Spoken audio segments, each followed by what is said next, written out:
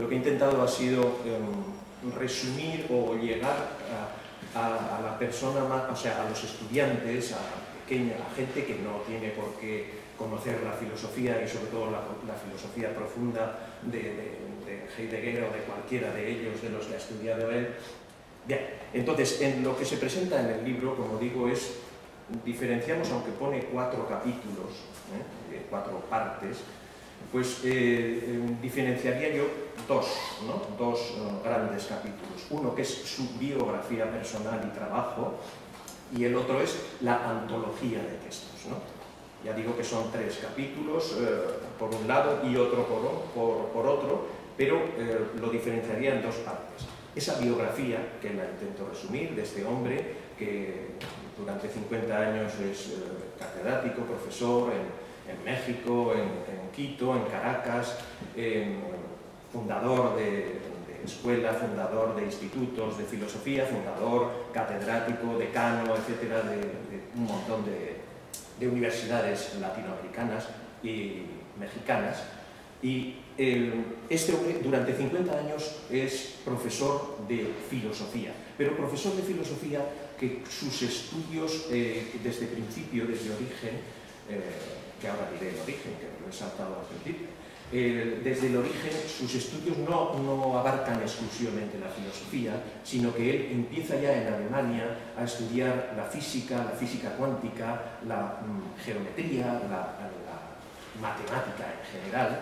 Aparte de esa filosofía, se dedica a traducir a la mayor parte de los presocráticos y a, Sócrates y a Platón, como, he dicho, como os he dicho, pero a los presocráticos los traduce del, que, no estaban ya, no estaban, todo, desde Anaximandro, todos ellos, los traduce al castellano y en eso hace una labor ya muy, muy importante para lo que es la filosofía.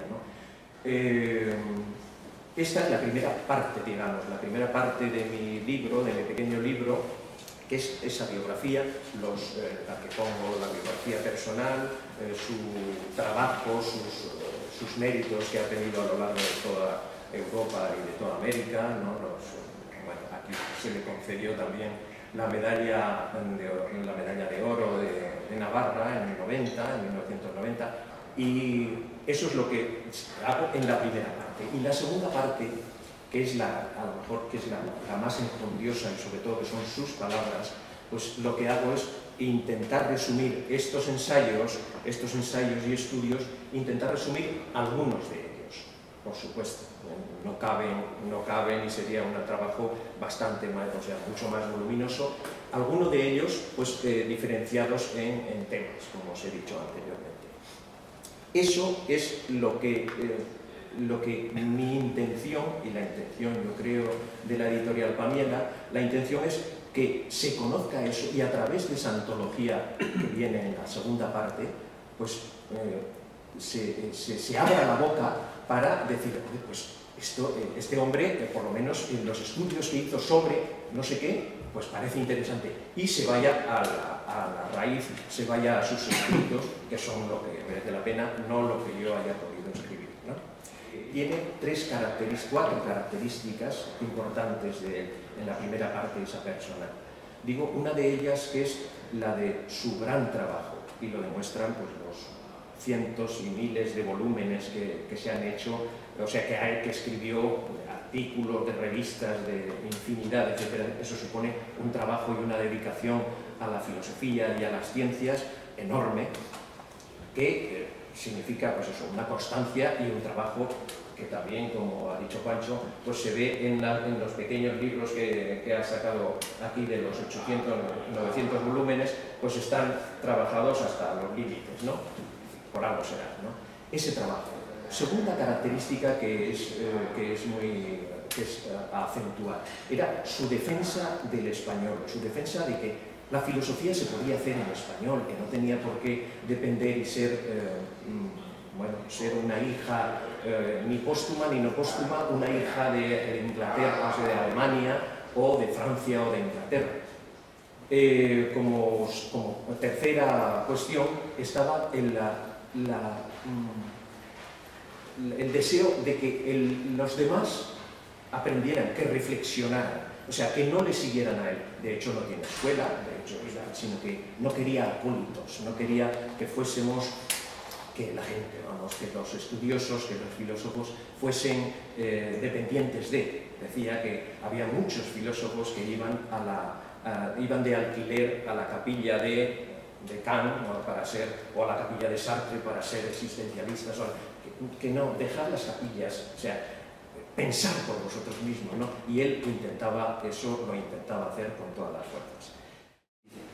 No delegar, primero, no delegar en nada, religioso, profano, filosófico, económico, político, ni en nadie, sea papa, patriarca, primer ministro, el pensar por cuenta propia, que nadie se arrogue el derecho de pensar por él. Cada uno debe de pensar por sí mismo, para sí mismo y en todo recordando que el miedo a pensar sobre todo es más potente y frecuente que el miedo a morir. Para la mayoría, morir antes que pensar e impedir que los demás piensen, más aún que hagan patente tal decisión en palabras impresas, censura, censores, inquisidores, etc. No delegar en nada. En nada. No delegar en nada tampoco al decidir por cuenta propia y responsabilidad privada, o sea, renunciar a la libertad, cargar valientemente con el don de la libertad de conciencia sin descargarla en otros. No descargar el pensamiento aceptando dogmas, credos, consignas, ni descargar la voluntad obedeciendo a mandatos, mandamientos, preceptos, ritos, etc. Los dogmas, los credos, alivian el peso de pensar. La obediencia alivia el peso de decidir, como, de, como donería mental y volitiva sobran concilios y constituciones que determinen y tiendan a imponer por fuerza física o psicológica qué es lo que hay que pensar y qué es lo que se debe obedecer. Tercer consejo, digamos, no poner límites a la imaginación, entendiendo por esta palabra inventiva. La originalidad, la inventiva, es uno de los recursos humanos inagotables. No aceptar nada que se le dé perfecto, definitivo, tradicional, sagrado, venga de la autoridad que venga, sea religiosa, política, económica, sea libro sagrado, rito, práctica de Antiguo, Nuevo Testamento, Islam, Vedas, Confucianismo, etc.